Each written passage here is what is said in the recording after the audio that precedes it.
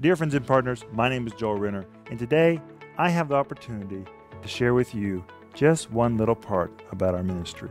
Over the years, Rick Renner Ministries has established many outreaches in several countries.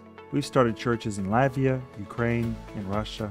In every city, we've established these outreaches of compassion. These outreaches include ministering the gospel in orphanages, mental hospitals for children, prisons, drug and alcohol rehab centers, and on the streets.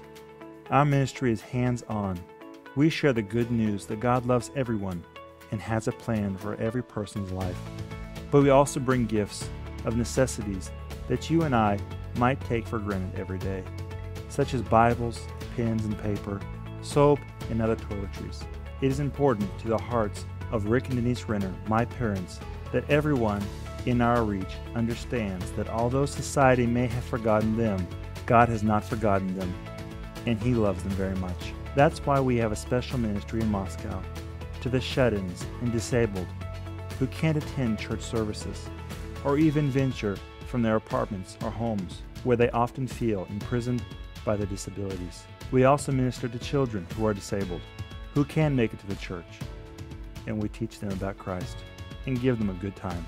Thank you for helping us, for supporting our ministry, so we can go out and do our work and help others.